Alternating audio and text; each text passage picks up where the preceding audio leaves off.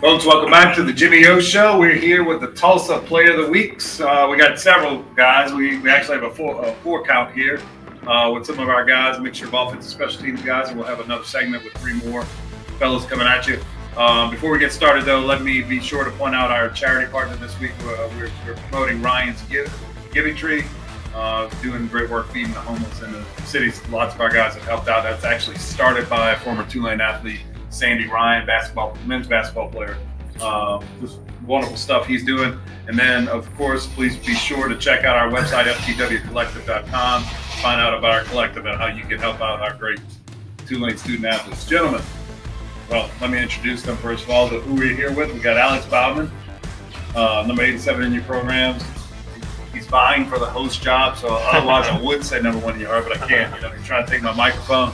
I got Bryce Bohanon uh, Shedro Louis, missed 100 yards over there. And then, of course, the other missed 100 yards. He makes it a habit, Makhi Hughes. How we doing, guys? Doing good. Good. good. Man, look, you know, uh, winning's hard, right? You know, and uh, we saw that again this week. You know, Tulsa comes in. Tulsa had been struggling on year, but they had something special for us. And look, I mean, mostly offensive guys right here. It was a bit of a grind.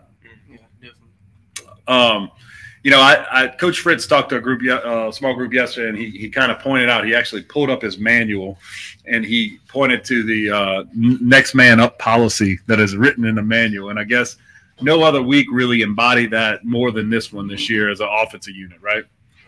Yeah. Um, so, so Bryce, I mean, you know, one of the big beneficiaries. You know, you've been playing throughout the season, but all of a sudden you were on the field pretty much every play of that ball game, led the team in receptions and yards, right?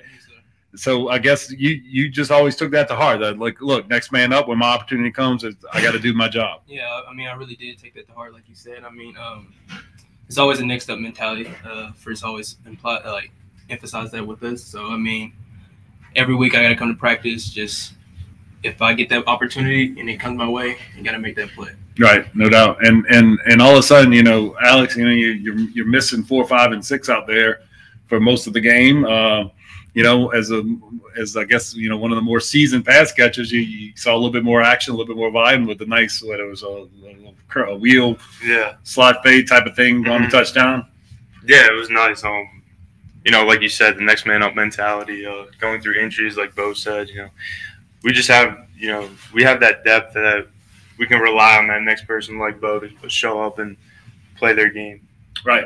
I'm gonna tell y'all right now, like when when when Coach Fritz first showed up we didn't have that. Like if we would have had the injuries like we had in that game, like you know, you could have kissed it goodnight because we, we just didn't have guys like Bo and and uh, you know Shedro step up like he did in the backfield, and you know, I mean, Luke Besh was out there. I mean, we had a bunch of different guys. Dante Fleming's a, a great player. You know, got a lot of run out there, and of course, we'll we'll talk to Trey Tuggle in a little bit. I mean, Trey was looked like he's been a 30 game starter the way he played. You know, it's just it, it really is impressive in terms of uh, depth. But like to give y'all credit, like I mean, it's the buy-in, right? Because it's easy.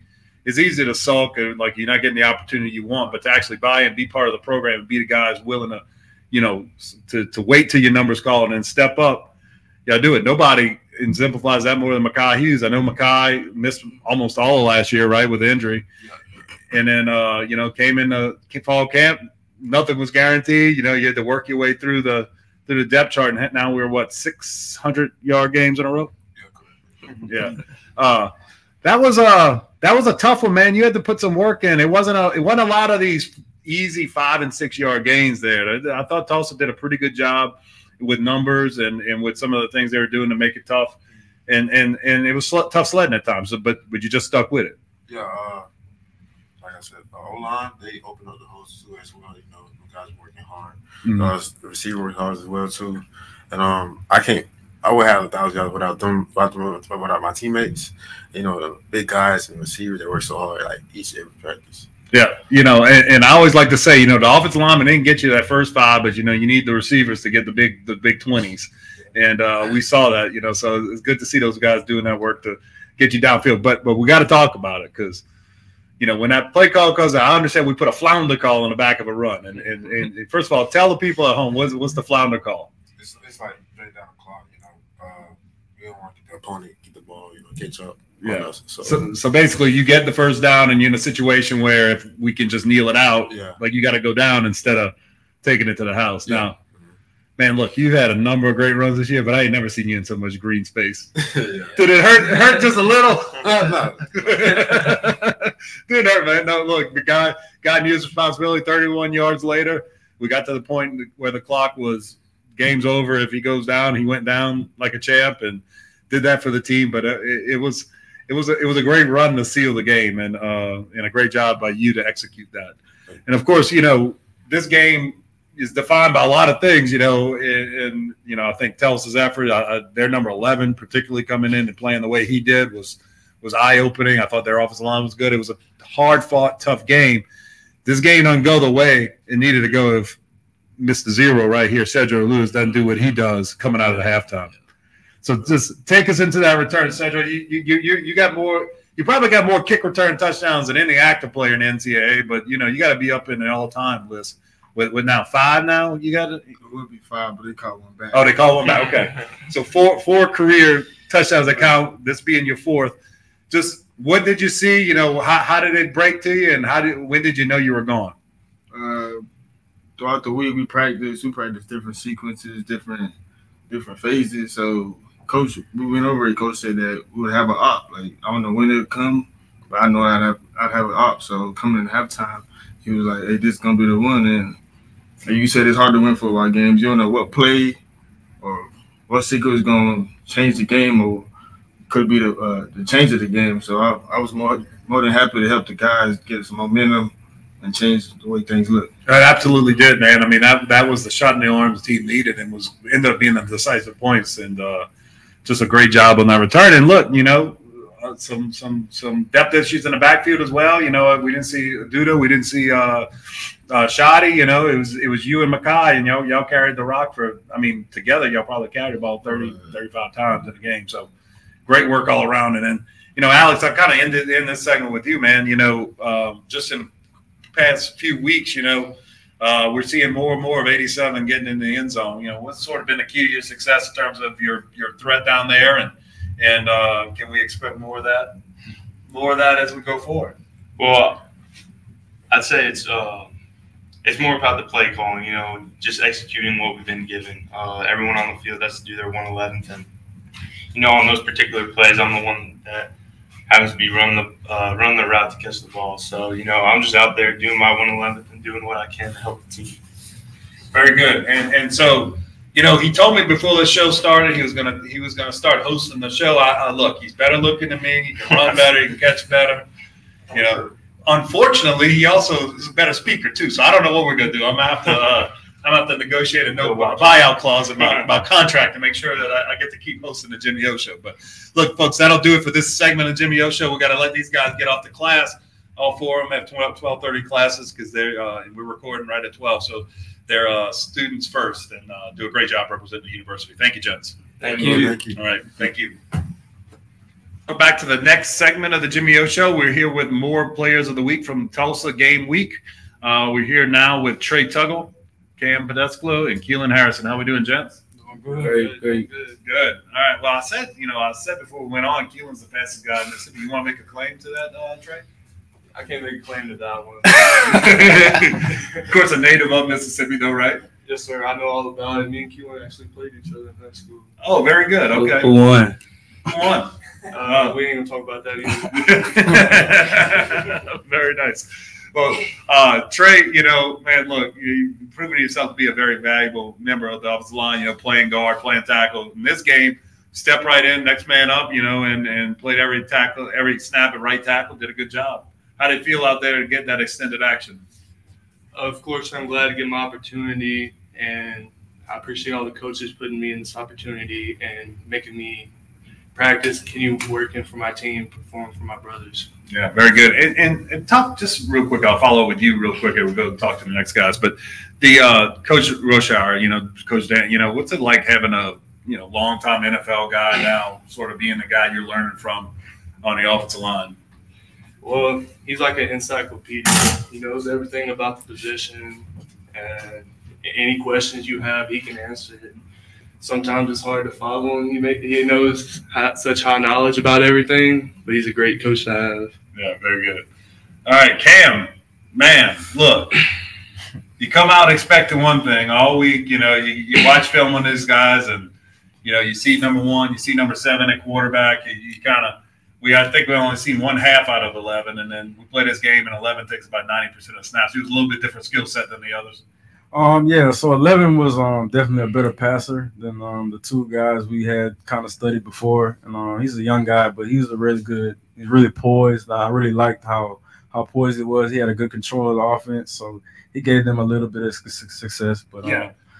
Um, and you know, I thought also what he did an effective job was he, he, he was pretty good at getting the ball out on time. It makes it tougher on you, you know, when the when the defensive line can't harass the quarterback because he's getting it out so fast. But um, you know, uh, just what was sort of the key? You know, obviously um, they had some success, made the big uh, the big uh, two point conversion stop, but uh, just sort of key success, limiting them to to the twenty one or whatever they ended up with, so that we get the W.